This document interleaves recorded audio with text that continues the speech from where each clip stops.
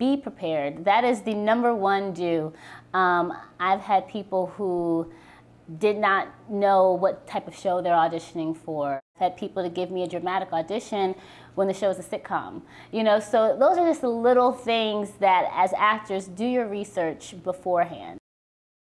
Don't ever tell the casting director like, oh gosh, I messed up, or oh gosh, that was terrible, um, because I, there have been many times where I thought an audition was just fine, and someone has left the room like, oh gosh, that was so bad. And I'm like, no, it wasn't. Now you have me thinking, did I miss something? You know, leave as confidently as you came in.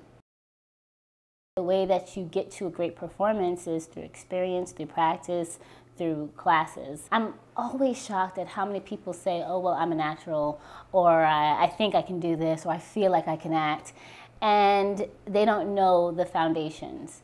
Um, so my first step is always get into an acting class, find a reputable teacher that can give you the basic principles and techniques of acting. You know, and acting is one of those things where you're always going to be learning. I mean, you can have an Academy Award and still take acting classes, in my opinion.